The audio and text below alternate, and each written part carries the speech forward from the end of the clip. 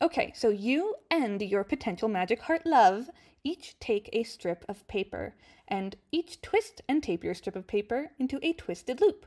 Or if you don't have your potential magic heart love person in the same room, you can just think their vibes and twist the loop for them.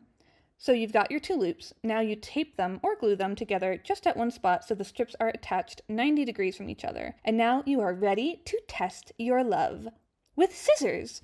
Carefully cut along the center of each loop, all the way around one and then all the way down the center of the other. If your love is destined by topology, your two loops will turn into two linked hearts. But if the forces of mathematics refuse to link you to each other, well, love isn't always all about fate. Sometimes it's about cooperation and effort. So see if you can figure out what to change to make it work. Either that or use a fourth dimension. And that's it.